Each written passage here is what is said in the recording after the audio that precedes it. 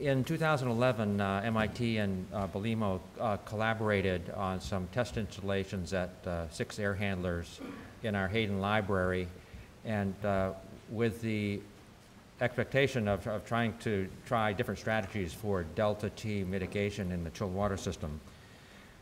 So the, of, of the various strategies that we were able to test, to cut, to cut to the bottom line, the one that uh, uh, we suspected would be the most successful and was, is if you actually measure delta T and control for delta T, you're going to improve uh, delta T.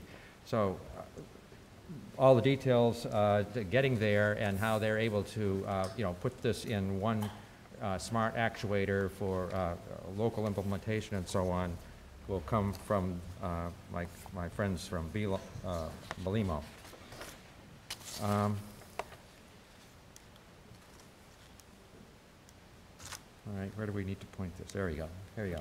So just for uh, a- a little background, we have a central chill water plant at MIT with about 20,000 tons of steam turbine-driven chillers and uh, another 13,000 uh, tons of electric chillers, uh, both at the central plant and at a uh, satellite plant.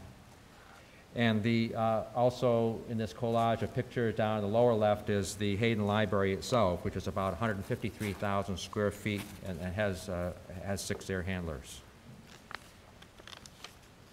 This extracted from a study that was done by WM Group um, back in 2008. And uh, it, they identified, uh, they, they they were helping us with our, our chilled water delta T problem uh, and, and did a study of our plant, our dispatch, our equipment, uh, very specific to us on what, uh, what was the potential savings.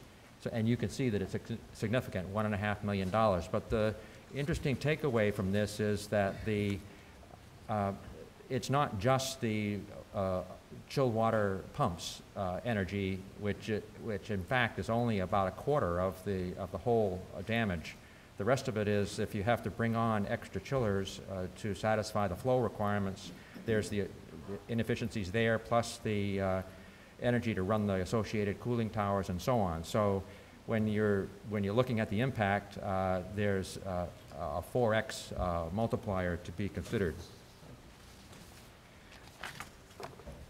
And then another, another uh, graph I, I took from that uh, WM Group report uh, just is a, a scatter diagram showing that uh, there's really very little time up in the upper left-hand corner there, uh, under 1,000 hours, when we're doing better than uh, 8 degrees delta T. So again, a lot of potential for improvement on our campus to, to help the improved operation of the central plant. So at this point, I'd like to uh, turn over to Dick to uh, talk about our installation. Thank you, Peter. Uh, Just to kind of reemphasize what Peter just uh, mentioned, in fact, the Chillwater plant is, has a 12-degree delta T design, and it does operate like two or three days of the year at design condition. But the rest of the year, it's subjected to this, this really abysmal delta T, uh, low delta T condition with a lot of extra energy that, that- that is expended because of that. So what is, what is actually driving that? This is uh, just basically refrigeration Q is equal to MC sub P delta T. It's just uh, energy. But what is, what's key about this is that the delta T and the volumetric flow are inversely proportional. Therefore, if your flow increases, you're going to get lower delta T with a constant cooling load. All right? And uh, that's, so that's, that's what you're looking at over here. What causes low delta T? Essentially, you're overflowing the coil. And it's not just at uh, 25% of load or 50%. You're basically continuously overflowing the coil. The main reason for that is that all control valves are oversized. Why are they oversized? Well, when an engineer specifies the cooling load for a building, he has a particular valve coefficient that he specifies for the valve. When the controls contractor buys the valve, there's no valve that has that precise valve coefficient. Does he, does he put a, put in a smaller valve? No, he puts in a bigger valve. So you're, you're basically sunk from the very beginning. All control valves are oversized. Uh, Another big reason is improper balancing, non-dynamic balancing. That basically means uh, you're not using pressure-independent valves, which address that dynamic balancing issue. You may have dirty or fouled coils, and then the list goes on and on. There's, a- there's another 10 or 15 reasons for low delta T. Okay, just to, uh, I mean, everybody here knows what's going on, why this, why this adversely affects the chilled water plant, but just for purposes of discussion, uh, say for example, we have a 400-ton chilled water plant with, uh, comprised of uh, two 200-ton chillers running at about 45% load, 100-ton uh, cooling load. Design chiller, uh, delta T is 12 degrees, so therefore, you should, by virtue of that equation, you should have a 360 gallon per minute demand for your, for pumps. This is the way the engineer designed it. In fact, when you turn on the plant, you actually have a 15% higher volumetric flow requirement. What that causes is that you, you've exceeded the pump capacity of one chiller. You have to turn on the second chiller because your load has, uh, your, your volumetric requirement has gone to 414 GPM and your delta T has de- depressed to 10.4 degrees. That's why you end up, end up running multiple chillers at significantly less capacity. It's this, this low delta T volumetric flow requirement. At the, uh, going back to the uh, load uh, history for MIT, even at the lowest loads, they're running three or four chillers just to take care of the volumetric flow. Any one of those chillers could take the capacity if it were running at the proper delta T. Okay, so you're running additional pump and a chiller, starting to meet the flow and demand, not the cooling demand. And again, it's not just the pump, you have to run the condenser pump, you have to run the, uh, the uh, cooling tower fan, and the, the energy just, just starts getting very expensive. So here it is, you've increased the flow by 15%, the delta T is lowered by 13%. All right, so here's the Hayden Library. Again, it's uh, 153,000 square feet, six air handling units ranging from five-inch chilled water valves down to three-inch valves. Uh, We, it was reported that it had a uh, six-degree delta T. There was overpumping, and it was causing low delta T syndrome at the, at the chiller plant. For the purpose of this case study, we replaced all six of the air handlers with uh, what we're calling the, uh, the energy valve. And that involved putting uh, two RTD temperature sensors, one in the return line and one in the, in the temperature well in the supply line to the, to the uh, chill water coil. And then we put an Ethernet drop so we could get uh, data off the, uh, off the valve.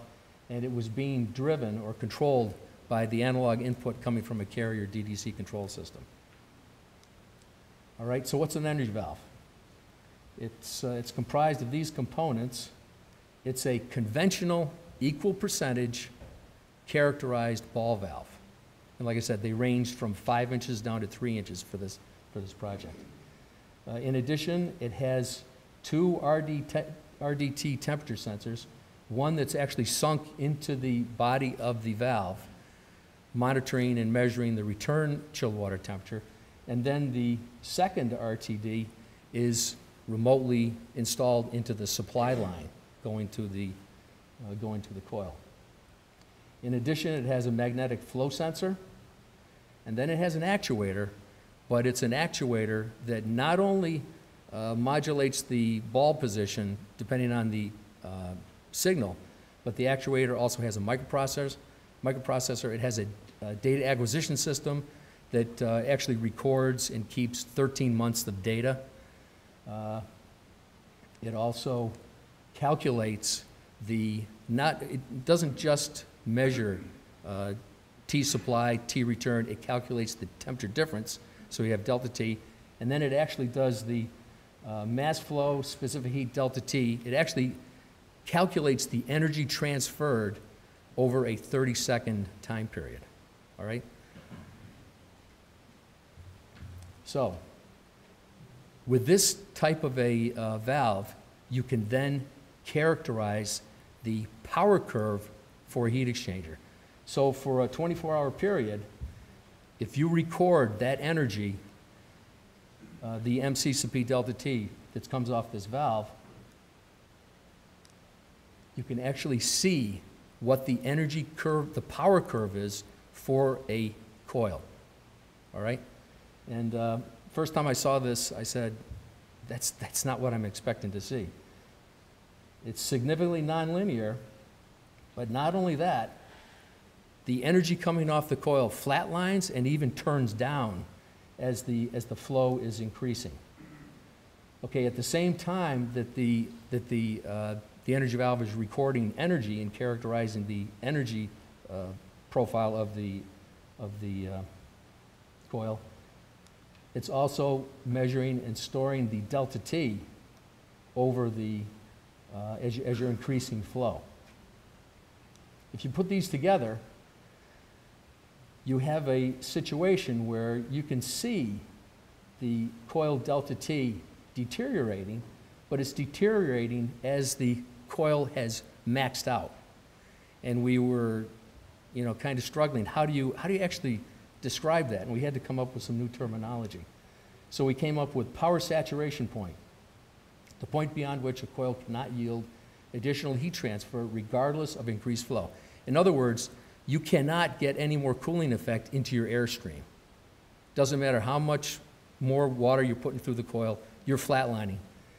If you operate the coil beyond the power saturation point, you're in the uh, waste zone, which is operation beyond the power, power saturation point. So looking at the coil, we can say that for this, for this particular coil, air handler number six, we really want to limit the delta T to 12 degrees. We really, there's no point in allowing the flow to exceed uh, a point to which the temperature difference uh, is, is allowed to go below 12 degrees, because that's the maximum power that you can get out of the coil. Uh, the, the actuator also has a delta T manager controller that, that, sit, that resides underneath the existing DDC control. And that actually prevents the valve from opening any further, irrespective of what the DDC control is, is actually uh, calling for. And uh, what that looks like is uh, this, this trace right here. This is, this is trending of the gallons per minute as a function of time through the, through the valve. The DDC control signal from both the carrier DDC control and the delta T manager control.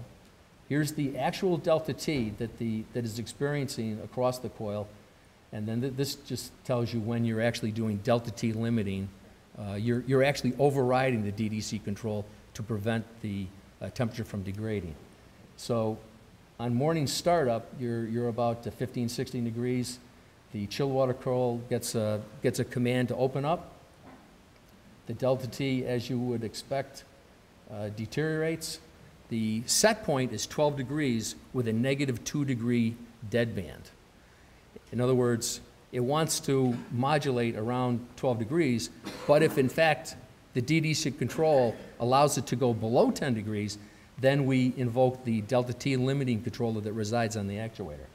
And that's what happens uh, right at this point. When it goes below 10 degrees, the delta T limiting controller takes over, it, it re recovers the delta T. Once it achieves 12 degrees, it hands control back to the DDC control. Again, the, the uh, DDC control opens the valve, and sure enough, delta T deteriorates. Once it crosses 10 degrees, again, the delta T limiter control takes over, and it actually uh, hovers around very closely to uh, 12 degrees, and it basically takes over control for the rest of the afternoon. It prevents the DDC control from allowing the coil to go into that waste zone uh, part of operation. Okay, what does that mean from a pumping energy standpoint? If you look at two points, Uh, Here's 12 and a half degrees, 43 GPM. If you operated at 10 degrees, 56 GPM, that's a 24% increase in flow with a 56% increase in pumping energy. But remember what Peter was saying about the real impact, it can be as much as a four-time multiplier over what your pumping energy is. This uh, actually shows the hours of operation for the, uh, for the coils. The blue uh, data is actual operation when the delta T limiting function is active. And you can see it varies depending on what, uh, what air handling unit you're actually talking about. Number six had a 75% delta T limiting. Number four only had a 10% delta T limiting characteristic. Uh, Interestingly, at the beginning of the chill water season, that coil was blown out, was replaced with a brand-new Heatcraft 14-degree coil. Even controlling to 12 degrees, that 14-degree coil, brand new, was still going to be overflowing to a, to a 10% of the operating uh, time period. Okay, and then uh, for seasonal comparison, uh, in 2010, from, uh, for the month of August and September, the delta T for the whole building, and, and MIT has independent flow and delta T measurements for the whole building. So this is not our data, this is MIT data. It had a 6.15 degree delta T. This past cooling season, it had a 12.14 degree delta T. Essentially, we've brought the load delta T up to what the chill water plant is actually looking for. All right, uh, it's especially effective at reducing uh, overflow on power coils that display uh, power saturation, overall reduction in chill water flow. Typically, you can have at least a 25 product, 25% reduction in flow with an in excess of 50% re- uh, savings on pumping energy. Uh, You're maximizing coil performance, you're saving, you can actually document the commissioning of the coil from one season to the next with that 13-month data archive. And that's it.